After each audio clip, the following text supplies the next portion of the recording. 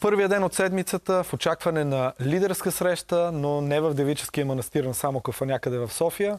И в началото на кампанията за местните избори време е за разбор с политолозите Светослав Малинов в студиото и Даниел Стефанов, когато включваме дистанционно. Здравейте! Здравейте!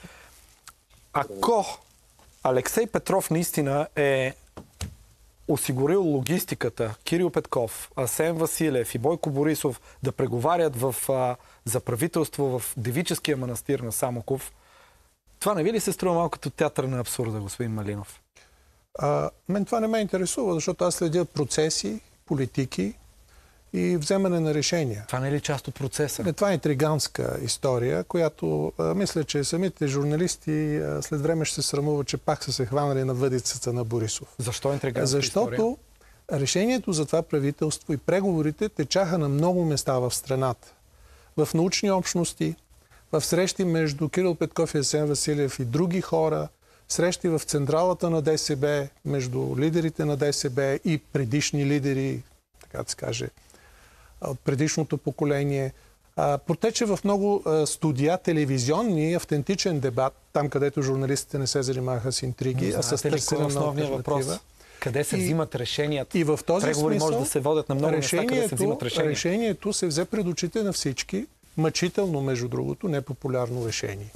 Ако човек обаче реши а, да каже, че където и да се взимат решенията публично, те всъщност са взети някъде не публично, това е лоша безкрайност, защото вие никога няма да може да докажете къде са взети решенията, ако просто сте убедени, че има конспирация и някакви тъмни сили да. дърпат. Това е отиграно, между другото, в американската политика и те са приключили с този методологически дебат преди 50 на години, защото ако вие ми кажете, че има таен управляващ елит, аз мога да ви кажа като политолог, че за този таен управляващ елит има един още по-таен, а зад него има един още по-таен, дето пък... Не, не, няма да ви кажа, няма да ви кажа Затова това, няма да ви кажа и че земята е плоска. В, в принципен спор. А, ние видяхме резултатите от изборите, видяхме кампанията, видяхме нежеланието и липсата на доверие между партиите, видяхме как се стопи това недоверие, но недостатъчно и видяхме как то продължава в момента да тлее. Така че от тук нататък, то като човек, който и участвал в дебати за формирането на това правителство, аз се чувствам лично засегнат, не защото моето мнение не е зачетено, а че ние допускаме да влизаме в такива интригански нива на политиката. Никой не говори за политика в момента, за това какво трябва да прави правителството, а говорим дори за нещо, което е свързано с вече един покоен човек, лека му пръст, който дори не може да каже, да се защити и няма свидетели. Затова мен, както се казва, в личен план не ме питайте повече за тези неща, тъй като раздразнението ми е много по-дълбоко а, принципно.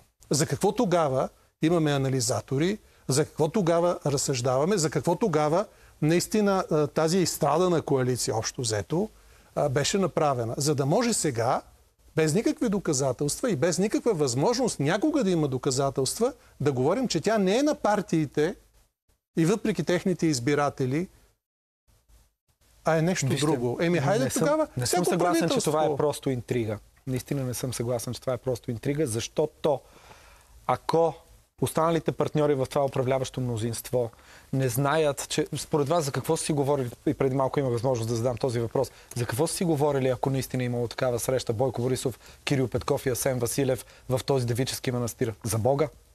Е, какво, какво си говори? За Бога ли си говорили според вас там?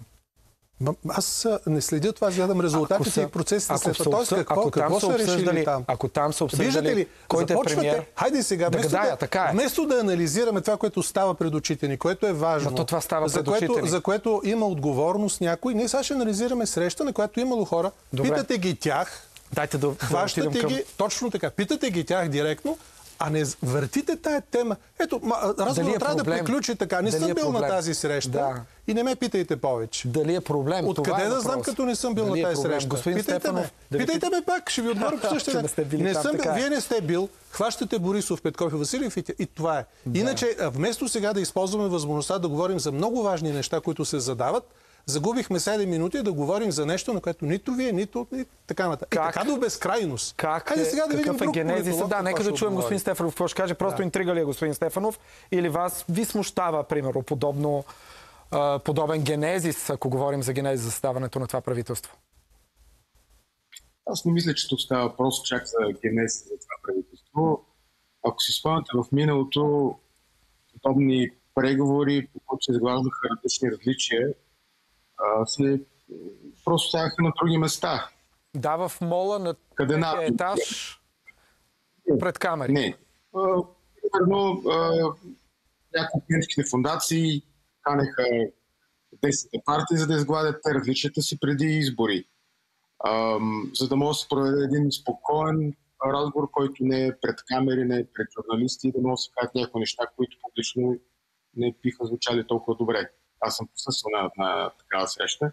След тук въпросът е защо а, такива институции, като тези фундации, в, а, на други места по света се използват други средници, ако можем така да ги наречем, бизнес асоциации и така нататък, които все пак дават една по-спокойна среда, но също така и оказват натиск върху политически партии, че все пак трябва да се поема по един разумен общ път.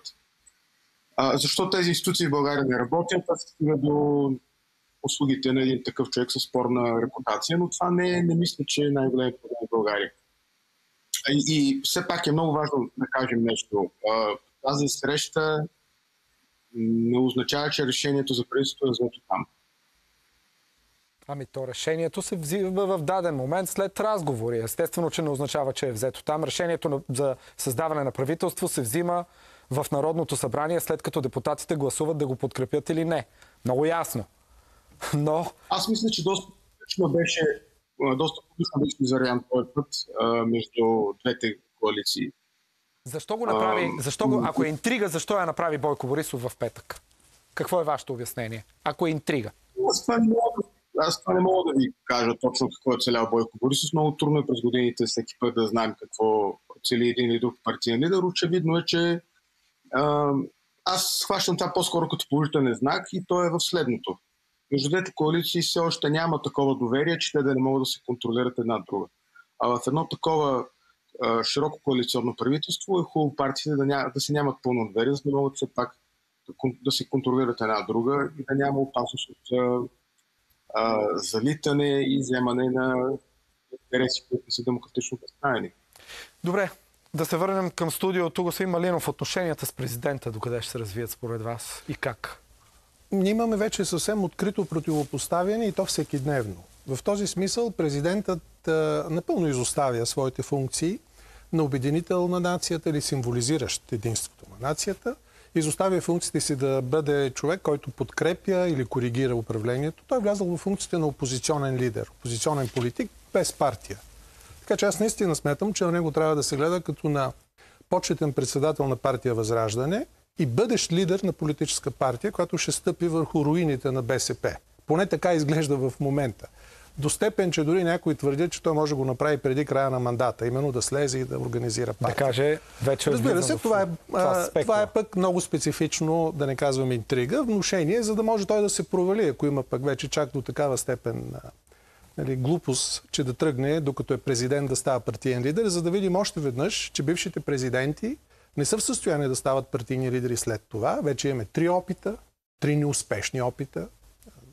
Покойния Желю Желев, господин Първанов, господин Петър Стоянов. Да, не става, Първанов беше най-ярка не става, не става, партия, която и не става. Но, както се казва, Румен Радев реши да опита в рамките на закона, нека да го направи. Нека да ви кажа, нещо, между другото, за това, за което говорихме до преди малко.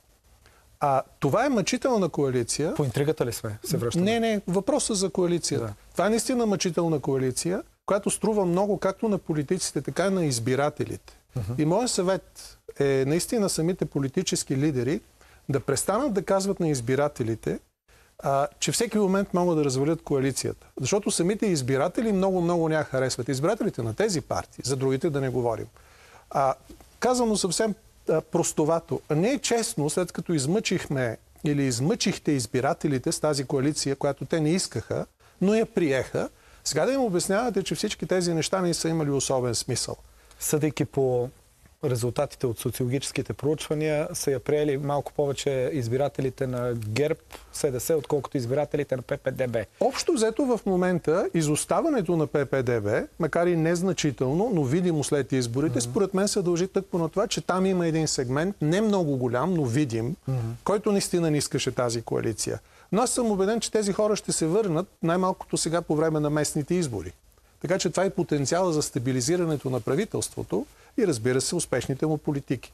А тези неща, които те първа ще виждаме като прехвър... прехвърляне на отговорност, скрити атаки, те са свързани с местните избори, където не забравяйте елементите на тази коалиция ГЕРБ ППДБ са в много тежка много тежка конфронтация. Добре, господин Стефанов, ще устои ли тази не коалиция с глобка или каквото и да е на местните избори и предизвикателствата, които а, те ще предложат? Аз мисля, че тя ще устои. А, и извода ми лежи на няколко основни елемента. А, първо не забравяйте, че освен, че това е а, голяма коалиция между двете големи, а, първи големи партии, а, това е и едно някакъв тип програмно правителство, което има няколко основни елемента в своята политика, а, един от които е съдебната реформа. И двете големи коалиции изоряха първен път, докато стигна тази коалиция. Всеки намира собствения си интерес в, точно в, този, в тази част от програмата и аз не виждам смисъл те да напускат коалицията преди да са изпълнили тези основни части. Все пак трябва да дадем сметка, че дори Бойко Борисов намери свой интерес в тази а, реформа. Много добре знаете, че а, той в това вижда възможност а, да, да бъде възприят отново от а, западните партньори, да не бъде третиран като български Орбан или а, някаква такава а, сложна фигура, с която те не биха Добре. комуникирали. Съответно, не но има нужда от тази реформа и не би напуснал коалицията преди тя да изпълни тази задача. Добре, благодаря. Да видим много кратко. Трябва. Относно стабилността, а, просто вижте къде а, опозицията би могла да спечели а, местни избори. Вижте, изобщо ще се доближи ли до формирането не на мнозинство, дори на една четвърт от гласовете, подадени от българските избиратели. А, и като видите от резултата... кое разбираме? Еми, възраждане, който БСП, е възраждане, БСП и т.н. Да. Тоест, абсолютна безпомощност имаме в момента на тази парламентарна опозиция. Президента, между другото, ни помага на тази парламентарна опозиция, а всъщност Трябва я отслабва да още повече. Като и казахте... накрая президента всъщност напомня на всеки Мераклия за пресрочени избори от ГЕРБ, ПП и ДБ, всъщност, че ги чака един озлобен, реваншистски настроен държавен глава със служебно правителство. И това прави моята прогноза за правителството изключително Добре, оптимистична. Че ще бъде стабилно. Благодаря ви за този разговор и на двамата. Това беше всичко от твоя ден за днес. Останете с новините.